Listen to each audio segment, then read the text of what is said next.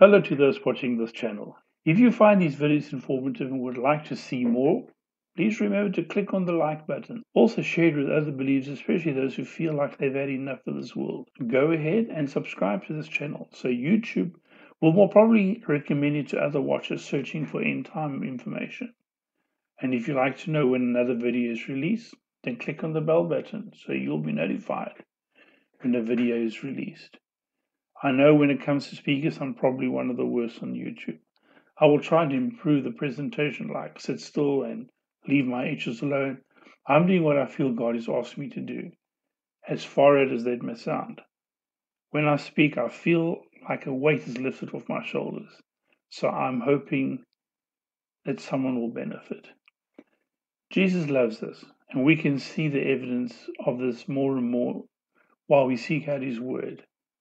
This series is meant to remove the mystery around his return and our soon escape. Some of what I have to say has never been said before, and I know it.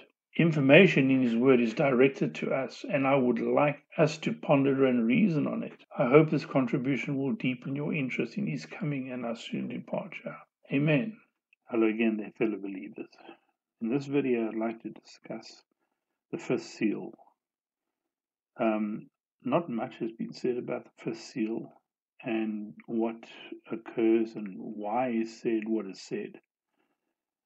And if anyone, I'm sure, has taken the time, I certainly haven't seen any evidence or any teaching on on the fifth seal and what in fact happens.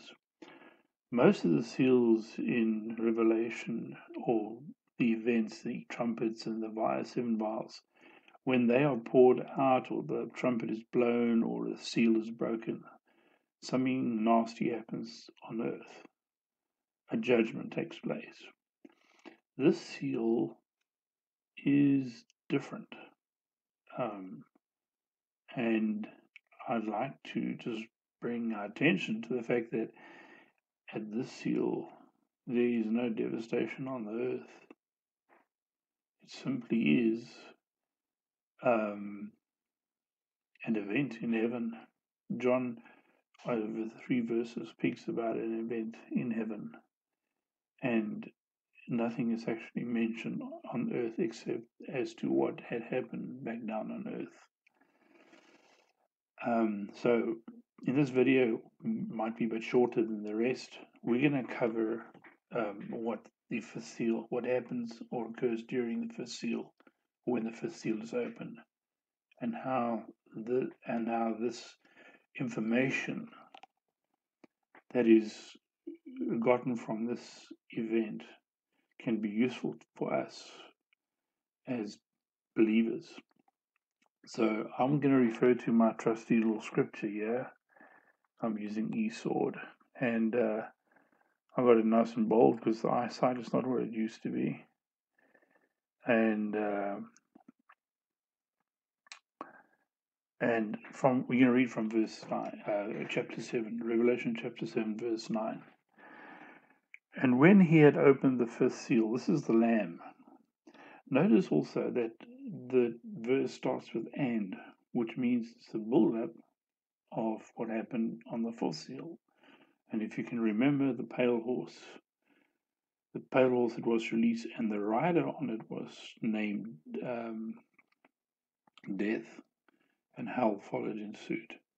I just want to mention something about the the, the fourth seal and the picture I I see in my mind when I see this is this this this horse being released or unleashed onto the earth, which actually is war, and and uh, death is um, is finding that the harvest is plentiful, especially during war, and if you can imagine a combine harvester going into a field, a farmer's combine harvester, and he's got his he's he's got his uh, forks or into the uh, into the uh, harvest, and and he normally drags behind him a hopper.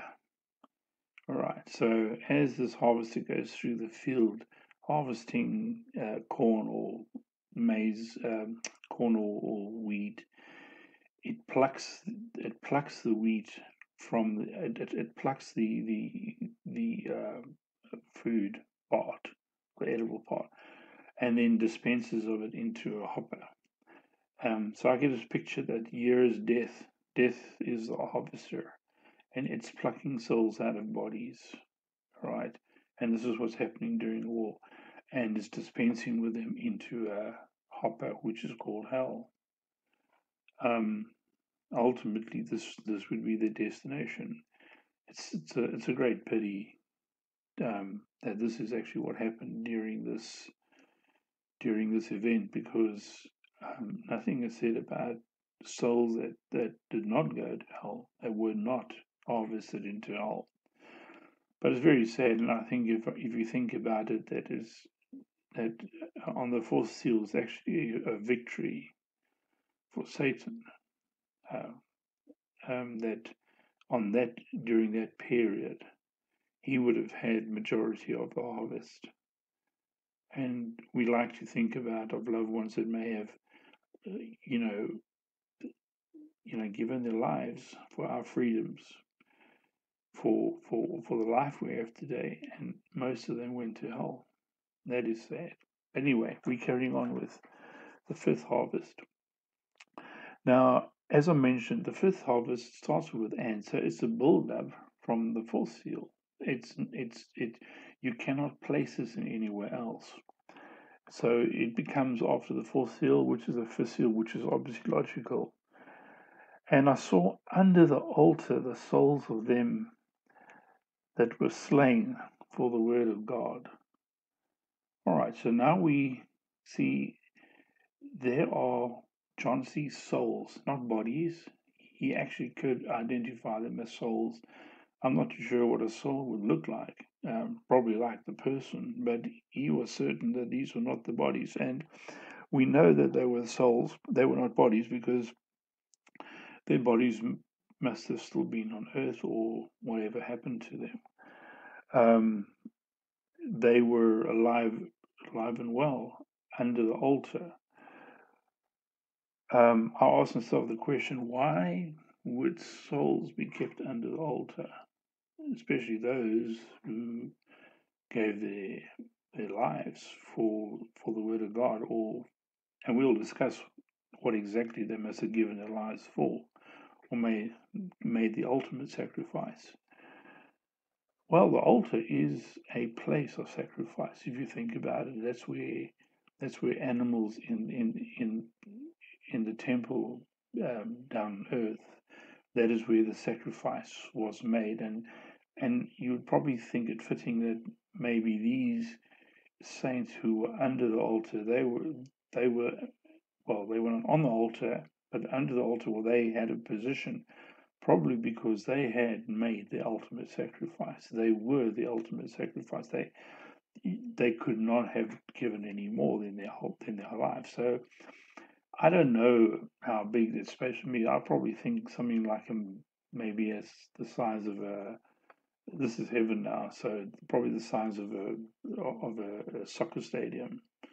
That was like a, a waiting room and uh, these souls are in a in like a halfway house, and of course they they're not in their bodies, and and they they've been there some time. We know they've been there some time because they um, in in the next verse they cried out and were and were they cried uh, they cried out with a loud voice saying, "How long, O Lord? How long?"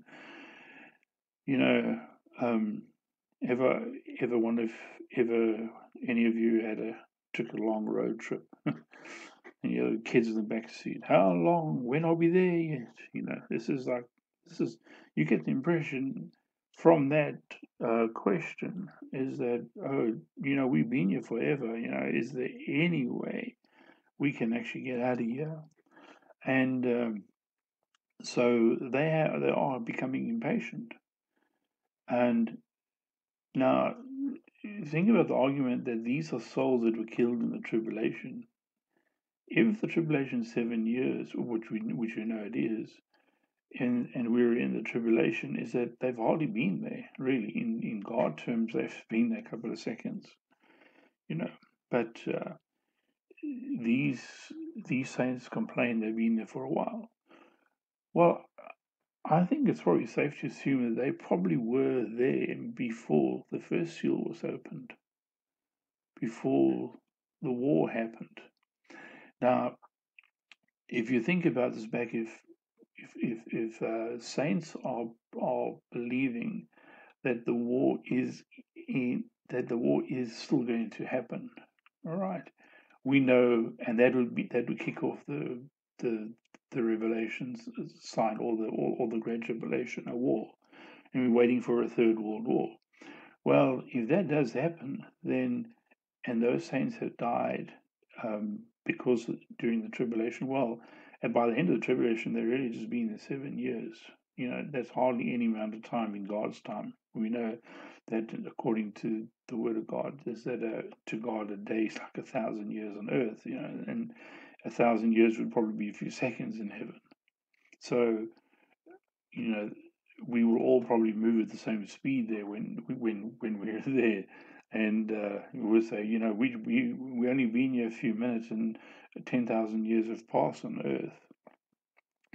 But um, um, yeah, so that does give rise to the thought is that if they had been there a long time, or they feel they've been there a long time, let's say maybe from the beginning of time, when you know when God first uh, created man, that there were there were people that had died for the word's sake.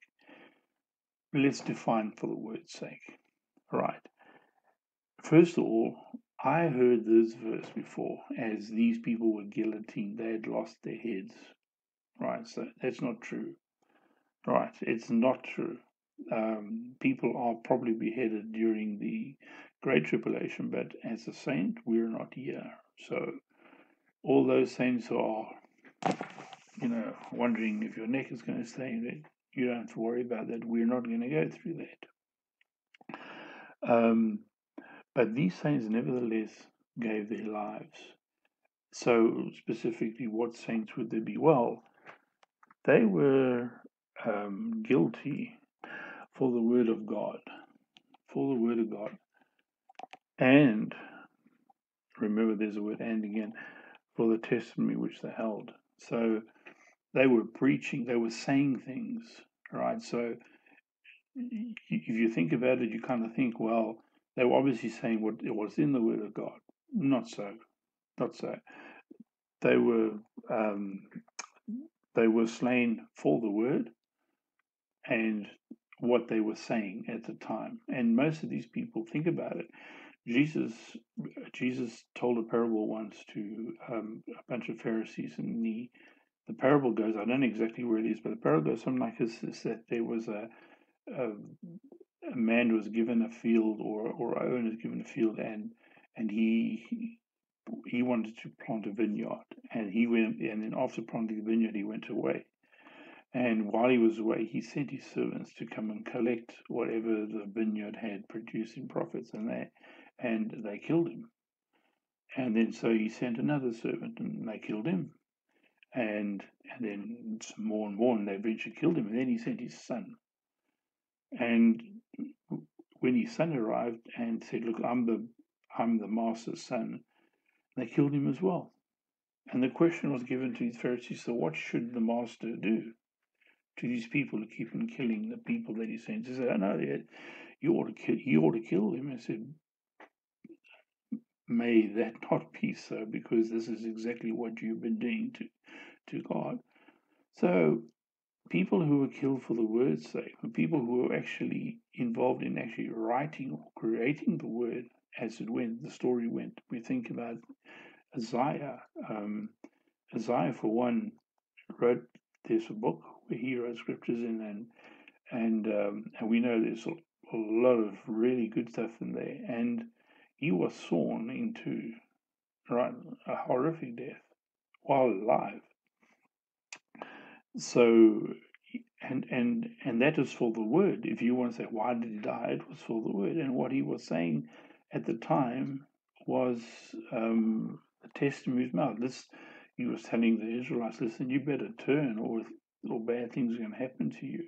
And very many times the Israelites didn't really like what these people were saying, and uh, so they died for the word's sake. So, and as we progress in age, even after even after the crucifixion of Jesus, and Jesus went into heaven or was was uh, raised into heaven, he um, um, people when the church first started off, the church wasn't as we know it is today. All right, you can get up on Sunday and go to church. It wasn't always like that. Um, uh, the Catholics ran the church in the first few 1500 years. And they really eventually messed things up so that eventually uh, people like Luther came into the scene to listen, you guys got it all wrong. And and some of those people were were plotted against and were killed when they decided, hey, this is not the way things are supposed to happen. This is what the Word of God says. So they were making a stand for the Word, and they were probably eventually killed for that. And I saw a movie um, a few years ago, and uh, I can't remember the guy's name, but but he, he was the guy that um, started to interpret the Bible into English. It was first in Latin. So the, the, the Catholics were real smart. They got the Bible in a language that no one could read, only priests. And um, then they sold tickets to people who couldn't understand what they're reading. Say, hey, we know what's been said. If you buy this ticket, you'll go to heaven. And, and and that's basically when. So what happened when the first people came out and said that's not so. Let's put it into English so that everyone can read, everyone can have access. Those people were killed. They were killed in a terrible way. They were burnt at stakes. I think one of the, the, more common executions were um, were, were, were they were told that you are exceptionally bad. You've actually gone and distorted the word of God.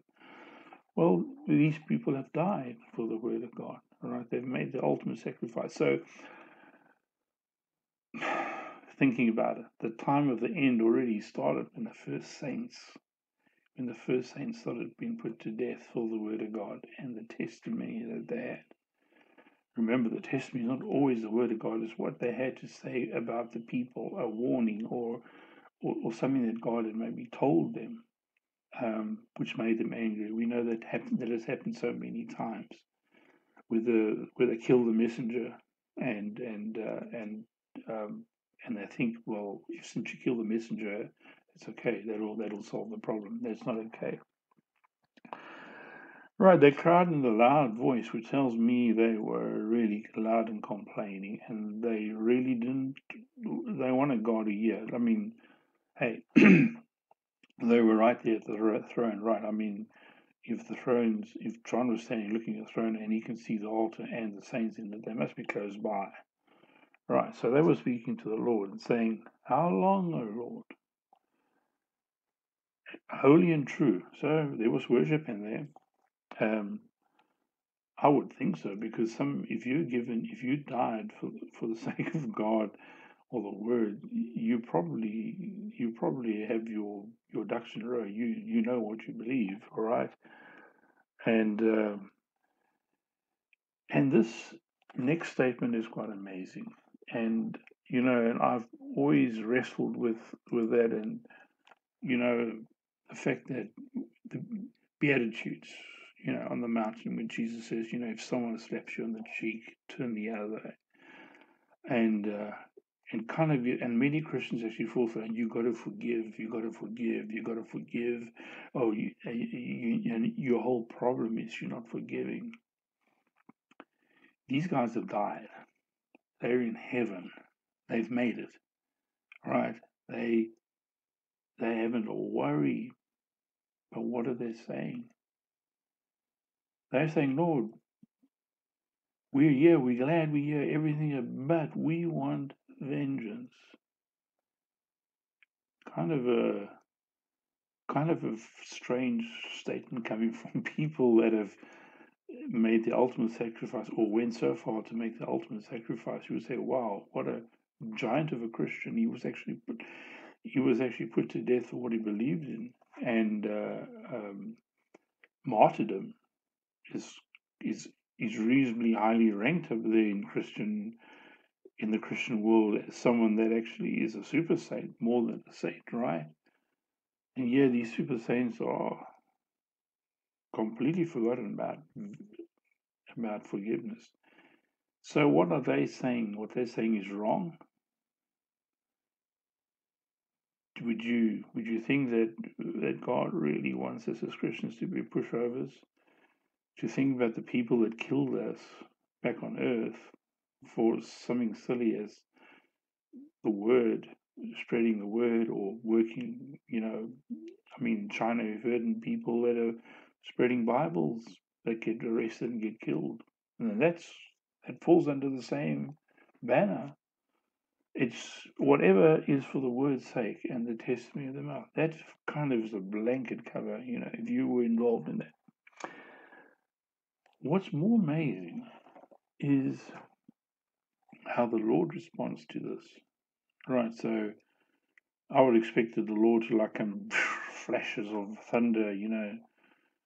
Have you guys just lost it all? And God says, um, oh, I must keep some moving down. Um, the response from heaven is is first, or the response from God is first to give them robes for every one of them, robes for every one of them. No, you've just complained to God about the fact that you were killed a few hundred years ago on earth and you're still ticked about it. And now you're God is God is responding by giving you robes. Quite a quite a strange response from God. Why would why would God be giving them robes? Well, we do know robes as far as Christians is that you know we're we're the bride of Christ, and the white robe is the robe of righteousness. So we have a we we are getting this image of purity and purification, and we this, this robe represents the righteousness of Christ. Without it, we obviously would never get to heaven. But yet, here God is responding by giving them all white robes. This is what He does on Rapture Day. Everyone, um, saints who arise from the grave, they will be dressed, will be given white robes. We who are left behind will snap in an instant. We will change to a glorified body and we will be clothed in white robes. We will represent the righteousness of Christ. And so, quite a strange time for God to be actually clothing these um, these saints. And He said to them, and He says to them, just wait cool it. Um, of course, by paraphrasing, it's coming. It's it's actually right there. It's right at the door. It's shorter than you think. Just for a small season, you're going to get what you wanted. And it looks like God's in the same God's in the same uh, channel as they are. It's like, yeah, what you what you wanting, you're going to get. I'm going to see to it. In fact, the reason you probably per- you run the altar so I can personally deal with your issue, not. Uh, as I said, every all that astounds me as a Christian, but it's in Revelation and it's true. Is there. We're just reading it. And if we carry on reading, white robes were given unto every one of them, and it was said unto them. Okay, God never said to them, so probably used a uh, an angel or or a messenger. It was said unto them that they should rest yet for a little season. So they've been there resting all the time. They haven't really been um, busy doing anything much. They were just resting. Know, the last 1500 years, you've been resting, and you're still ticked with the people that killed you that, that long ago as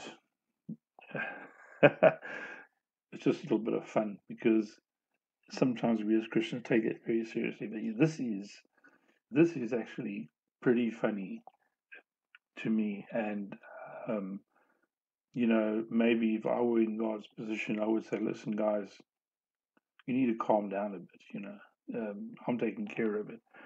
But probably loosely speaking, this is what God is actually saying to them. And um, robes are given to them, and they should rest for a little season. Encouraging. God says the wait between the fourth seal and the sixth seal is a little season because in the sixth seal, the sparks start flying, and uh, the sparks fly in a big way, right? It has been said that Christians uh, will be will will be here during the tribulation. Only a little bit, a little bit, a little bit. We we don't see much, right? We don't see. We're going to go through that. You'll see. We only see much. But here, what's important is God is getting ready for a rapture time. All right. He is already dressing some of the saints that have gone before him and actually died. So it's kind of saying it's like you guys are the privileged. You're getting your you're getting your tire first, right? You're getting front row seats to all this because something is going to be happening real soon, in which you guys are going to be part of. And um, and that they should rest for a little season until their fellow servants and their brethren, brethren that should be killed as they were. Well, there are certain people that will be killed, uh, you know, probably during the tribulation, but I don't even think it's these people that probably up to that point is that kind of near the end, just before the rapture, there probably would be people that would be um, killed for the word's sake. And I mean, I mean, if we know what the world's going up to is happening every day, really. People who are being tested and Christians who are being tested and and um, and being you know innocents being killed by by um, bombs and and cars out of control and attacks. Um, um, I don't want to instigate against any group here, so I'm kind of thinking to choose my words, but um, it's it's happening all the time. But God says there is going to. I'm taking care of every one of you, and but you're getting the robe so long, but there's going to be more added to you, and that should be killed as they were to be fulfilled. Should be fulfilled. Right. So God knows in advance uh, who will die and how they will die and, and what they will die, the causes, the, cause, the cause of their, their death will be full. And uh, so he knows that that's, that's going on. It's kind of, you know, wow, you know everything really. You even know what people will die for. Uh, so, of course, he knows when you're going to be dying.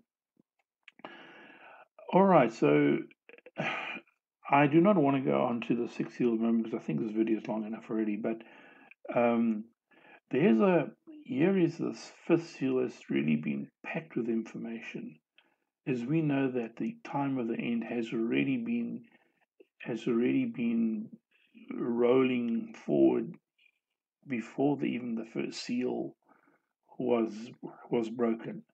For the saints to have been collected under the altar, this was so that so that when the fifth seal is broken, that these that these saints would be given their white robes, and they would and they would be given information that would be permanent, pertinent to us. Um, something that's not so direct is that um, we learn from the fourth seal that souls do have a, a, a journey. You know, the journey from from from the Father into a body, out of the body into hell and but they also have from the Father to a body and from the body into heaven.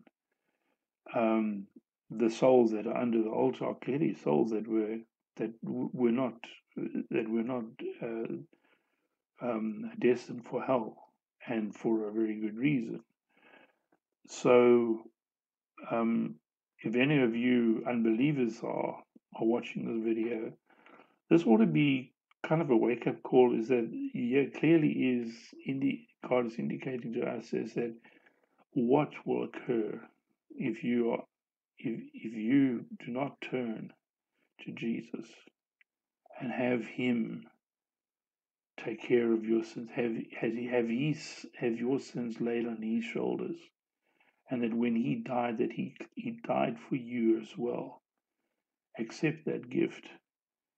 Accept the gift. It is free. It's it's it's like if I came to you and I gave you a lotto ticket that's going to win, and you say to me, "Well, we don't, not really interested in it." You know, you might need to have your sanity tested. This is this is a win-win situation. If you if you if you give your life to Him, you get your share of the grace that He's poured over His saints. We we have we have great advantages living here on earth. We yeah we don't have it any different than and we still have to face every day today. But after this world, we get heaven, and it's not nearly anything like what we're experiencing here. Jesus loves us. Jesus is coming soon. He's going to be here any time. It could happen even tomorrow. But for all those saints that are watching for this sudden appearance, it's going to be a little bit different than what we were taught or what we what we hope it is. We can have a four, we can have a we can have a curtain raiser, and we will know at that curtain raiser it's now. All right, you will have your time. If you're not if you if you're not born again, and you don't know, there won't be time to run around at that time at that curtain raiser say, "Please help me." Um, I, what I do, what I do. no one will be no one probably will be giving you the advice at the time. And if you do make it, you'll probably just just make it, but you don't want to leave it for that long. But as saints, we we will know when our Savior steps through those clouds and says, "Hey guys, come on in," and you want to be one of those. we sing that song when the saints go marching in. That's a rapture song. I mean, if anyone thought about it, it's a rapture song. When the saints go marching, that's exactly what they sing about the rapture. Right, you want to be in that number, so do I. And get your life right with God. Say, Jesus, I'm a sinner. I am not worthy of anything. Lord, I'm not even worthy of your love. But you have made a way for me to get into heaven. And Lord, with my sins, I can't make it there. So I thank you that, Lord, that I receive your gift of eternal life. That blood that was shed, that you shed, your blood, your God blood. I take it I take it for me as well, Lord. I accept you as my Lord and Savior. I follow you from now on. And Lord, I'll never leave or forsake you. My allegiance is to you only. I have no other care. Yeah, the world will distract me, but I have really no other care. Say that prayer and mean it in your heart, and God will allow you to get into heaven. That's the carrot. John 3.16 says, For God so loved the world that he gave his only begotten Son. Well, you could say as, as, a, as a people, well, who cares, you know? For us Christians, that's precious. But here's the that he who believes in him should not perish but everlasting life. That's that is the selling point. Right. You may care not care less about Jesus and what he did. But the selling point is that if you care less about everlasting life, man, and the emphasis of being on life, right, you are going to be everlasting right? But if you want to be everlasting non life, take your pick. Everlasting life, yeah. Living in a mansion, walking along streams of rivers, rolling hills of flowers, plants that talk to you, animals that talk to you. So that's life. Right, so drop the facade you're you're not immortal. You know you're not. You know there's an end to you. With Jesus, there's no end. Accept Him. Jesus says, My yoke is easy, my burden is light. Either you're wearing the earth's yoke or you're wearing his yoke. You're not wearing no yoke. There's no such thing as no one is not serving anything. You're either serving God or you're serving the world. If serving the world seems cool to you and you're knowing this this world, especially what we hear in the news today, that this is this is the world that you're happy with, man, you have you lowered your standards, you're like looking at the bottom of the barrel and saying, Well, this is good enough for me. Not so. God has got God has got a life and an eternity for you. You know how long eternity is never ends. Have you ever stopped and tried to think about eternity? It it pushes your mind over the edge because you cannot even think about it because we are so conditioned that everything has the end on this earth. You cannot think about that. You cannot even conceive it. And you get to live, you get rewarded for the 60, 70 measly years you're here on earth. You, you make the right decision, you get rewarded forever. Man, you know, you you really you're really blind if you miss that. anyway, this is the end of the video. Thanks for watching. Next video, we'll be speaking about the sixth seal. As I mentioned, the sparks will fly. And this is the part where um, saints will want to know about. Or the mystery. The mystery part of it. We want to know. You want to know when the rapture is? Catch the next video. Thank you.